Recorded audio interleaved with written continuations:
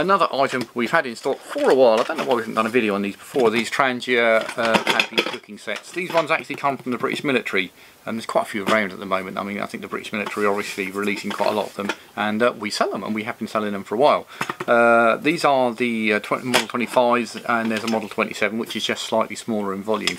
Literally, this has just come out of the crate that we get them in. And this is what you get. So it's like a lot of these camping cookware sets. It's got several uh, saucepans and little pans inside it. So there's a little strap to hold it together. They are all uh, free used items in remarkably good nick. So you've got the lid there. They don't all have this in. I have to say that I assume that's the straining and filtering. Most do, but they don't all have that in.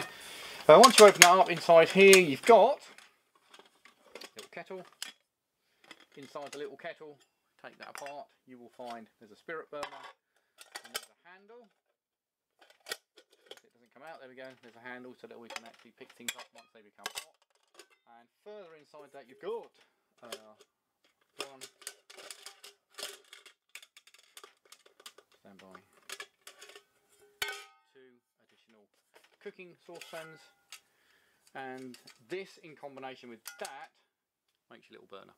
So quite a useful little kit, fairly compact, gives you quite a lot of uh, pans, saucepans, pans to actually cook with, and you can also make yourself a cup of tea as well if you want to. So, if you're in the market for a Trangia 25 or 27, I think we probably only have the larger ones listed at the moment, you might want to check them out on our website, uh, and you'll find us on eBay as well.